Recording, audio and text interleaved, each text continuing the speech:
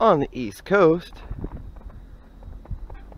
the Nanook Pee and Poop Resort is now open. Check it out.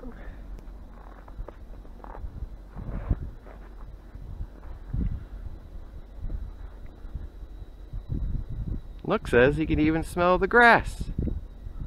Nice.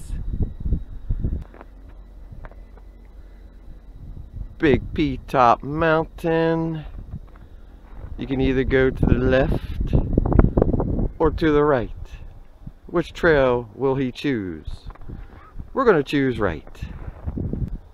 The ice volcano at Nanook Pee and Poop Park.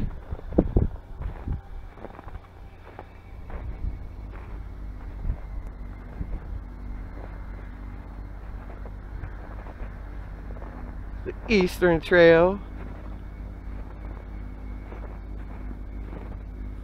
which leads you to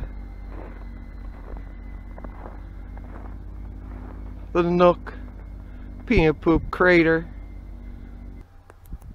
Take you on a Nook walkthrough.